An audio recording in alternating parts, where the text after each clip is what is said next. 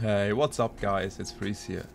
The last few days I was kinda turned on for another one of Gothic and I started researching a bit of how to install it the right way in 2023 with uh, nice graphics, shaders, bug fixes, new quests plus a ton of mods and now I wanted to share it with you guys so you can also enjoy a remastered Gothic with new features and jump back into the colony. This guide will be cutted into a few steps. I'm gonna start uh, explaining the main files which include the main patches, bug fixes, a big mod plus the shader renderer and after that I will show you the installation process of those and then we will have a closer look into some mods and some settings in the config files. As I said before we will start with the patches, like we have here the three first patches you need to install normally. But if you have the Steam version installed, you can skip this part because those are already installed in the Steam version. If you want to make sure you can install it on top anyway, it doesn't break anything, so you're free to do so. But like I said, if you have the Steam version, you can start with the Player Kit 2.8. You just go here to the green link down below, click that one and just download. Then we have the next one, the large address awareness hack. Gothic was limited back in the day because of hardware reasons, so with our PCs now we can just uh, extend that to 4 gigabytes. And yeah just download this one as well. Then the next one is Union also known as the System Pack 2.0 just download this one as well. It has a lot of bug fixes and other stuff so I would uh, recommend that. The next one is uh, Ninja. We need this one for a few a few mods and feature patches so the, these can be used just download here the X file and you're good to go. The next one here is uh, optional. Like, yeah, this one is optional. Um, that's the definitive edition. I choose that one for me because I fitted my needs the perfect way, I will say. It has uh, also a lot of bug fixes, a few gameplay changes, like uh, cut content uh, has been added again. And yeah, you can have here the full edition. This is a smaller edition in English because it's, it is um, a beta right now, but there are ways to to make the full version into into a English version without losing any content. So just download the first one here. And then we go to the next one. This is the Gothic 1 community patch. This one has also a lot of bug fixes and stuff like that. And then we have the Community Patch Plus, which uh, does the similar things like the first patch, um, like the first community patch, but this one focuses on like graphical graphical issues and meshes stuff which, which got fixed. Then the last one here is the renderer. Just download this one again. Like all the World of Gothic links are, you have to download always here down below. Just click it and the download starts automatically. Uh, that's the part for the for the main patches, so we will jump to the installation part now. Okay, here I have a clean Gothic 1 installation for you, like I have uh, nothing added up until now. This is just how it uh, how it, it, does come from Steam. You have the player kit and the system pack 1.8 already installed. Uh, what I recommend is always start up the game after the first installation, uh, maybe change your resolution or change any preferable uh, settings you want to have. And yeah, just load into the game so all the config files from the game for the game will be created and stuff like that. So we are just finishing those, maybe some more gore, the mouse sensitivity and everything you need. And yeah, just start up a new game. Just to see if uh, everything is working I'm Diego. Yeah, that looks uh, looks alright so far.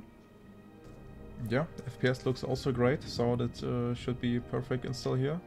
And then we can close up the game again and continue with the actual installation. I have uh, downloaded all the files here already. We got here the player kit 1.8 and the system pack 1.8 at the number 2 and number 1. You can skip those, like I said, if you have the Steam version installed, but I will I'll just show you you can install it anyway, it doesn't break anything. So where you should start is uh, number 3, Player Kit 2.8. We just uh, choose your Gothic folder, like always. You always choose the Gothic folder, the main folder, except for this one, the large awareness hack. Here we need to choose the system folder inside of the Gothic folder, just to make sure we have that. And if you chose that, we click all the six uh, Gothic X files like Gothic mod, Gothic X and Gothic backup just to make sure. If you have that, just exit it again and this uh, should be good to go. and we just continue with uh, number 5 union. So just install this one as well like the other ones before, continue with Ninja, then the definitive edition and then the community patches. So up until there it is just the same process, just uh, with the number 10 we have a few differences, we have another step we need to make there, so I will jump to that one. Um, here, like I said, we just install it, choose again the Gothic folder, just install the file. When it is uh, completed installing, then uh, we need to visit our Gothic folder where we have installed everything. Here is a new folder, Bonnie, Arcturus, something like that. We need uh, we need these files, copy them out, or you can you can also just cut them out. It doesn't matter. And then you need to put uh, those files into your system folder. Just uh, paste them inside, and you should be good to go here as well. For the main part we are pretty much done now. If you don't want uh, any mods or more changes you can just start playing the game now. But I will now continue adding mods and uh, doing a few changes in the config file. Here are a few of my mods which I will be adding. The VDF files all go into your data folder, but some mods are needed to go elsewhere like the weapon range mod, but you will see that as well here. Coming to the end of this video, we are now finishing with some changes in the config files. The things I want to show you are how to change the FPS limits, how to disable the displayed names of uh, dead mobs when you can't loot them anymore or they don't have any loot inside. Uh, number 3 would be how to configure mods, because some of them can only be configured in the config files.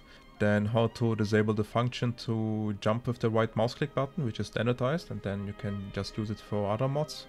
And number 5 is how to change the definitive edition into English. So for the last part of the video we need our Gothic folder again. Just go inside it, then inside the systems folder. Then we need three files here. This would be the definitive edition ini, the Gothic ini and the system pack ini. If you don't use the definitive edition ini, of course you don't need it, um, but yeah, for me it will be this one. So starting with the FPS limit, just uh, open that one, search for FPS, and then you have it here, parameters FPS limit. Type the value of your monitor or your desired value just here, and you should be good to go. For the normal users, for the normal version, it's uh, similar, but you need to go to the system pack ini. Then here are several ones with FPS, so we might go down a little bit where it is. Then it's here, FPS limit. Uh, set here the value you want, like 140, 120, whatever it is. After that you should be also good to go. Then for number 2 we have it, uh, for me it's right below but it might be somewhere else so just search for hide focus. You need to put the value 1 here and it is also explained here again if you want to use it, if not just leave it at 0. Then uh, going to number 3, how to how to set up mods because some of them can, like I said before, also uh, only be configured here in the Gothic ini. So you just go here, like uh, if you have mana rack or something, uh, you can the tick rate, the per mil, the threshold, uh, you can change all, all, those values here. If you want to use uh, quick loot with uh, for with uh, mouse right button, for example, you can use it here. And yeah, you should be also ready to go.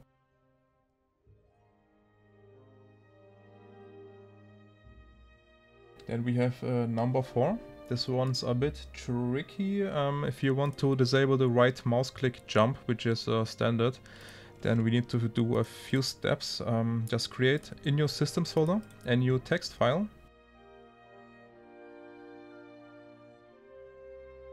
Oh, we have a double one here, we don't need that, just open it you need to put that value inside. I will also leave uh, this value below the video in the section so you can copy it and also the name you need to put for it. But yeah, just put that in and uh, just save it. I don't need to save it, I already have it, so can delete that one already. And yeah, here it is. Uh, you need to name it z no rmb jump dot patch. And like I uh, showed you before with the value inside, but yeah, I will leave you both uh, in the section below so you can just copy paste them. Uh, as a second part for, for the right mouse click, we need to go in the, into the system pack ini again. And then we search for no direct X. And then this value is normally false and you need to change it uh, to a 1. And then you, you have that uh, all set up and the right mouse click is not uh, jumping anymore. But uh, it's important to know if you use the renderer for the shaders, uh, you can't use your mouse inside it if you have put that value in. So if you want to change uh, settings inside the inside the in-game shader with this opening with F11, you should do that before. So for the last and the fifth part, we are now changing the language of the definitive edition into English. Just go to this website, I will leave this link also below. Um, go to here, definitive edition v15 scripts, patch in. Just download that. If you do so, just unpack the file and then you should have it like that. And now we will rename it, the v15. We need to do a uh, two, two out of it. So we have definitive edition v2, two scripts patch en mod. Then uh, copy this file, go to your Gothic folder, then go to data and mod VDF, and then just paste the file here. I have it here already. So we have that. Um, then we need our definitive edition again, which is in our systems folder. Just open this one, and here we have the scripts uh, script file. We delete this one, and we replace it with the the name of the new file we have added. So we have definitive edition v22 scripts patch en.mod. And now just close the file and save it and we should be done for this part as well. And now we can have a closer look in game and yeah, here we are in game finally. So far everything looks uh, fine. By the way, if you have patch menu the mod installed, you can look into some of the mods here. The other ones should be lookable by here.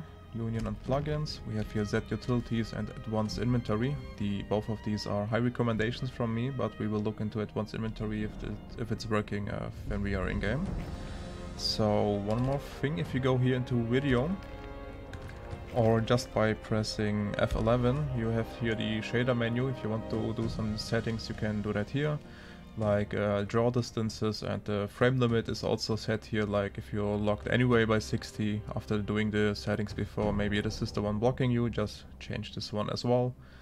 And then we can go and have a look in game.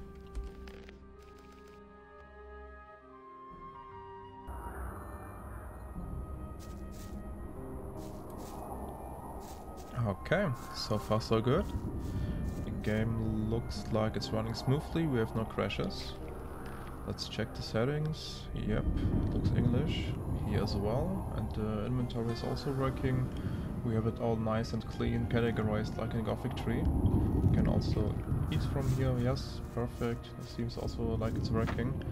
Uh, let's have a little chat with the guard. I want to see the dialog box if that is also working. But yeah, so far everything looks uh, very good to me, I like it so far. I just would like to go more into detail about the, all the mods I have installed and the ones I found on the internet, but I guess um, running out of time for this one to not make this video too long.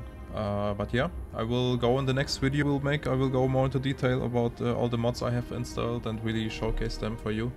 Uh, if you don't want to miss that video or just uh, want to support the channel, just uh, press the subscribe button guys. If you did like the video, if you enjoyed it, press the like button guys and we will see us in the next one. Peace.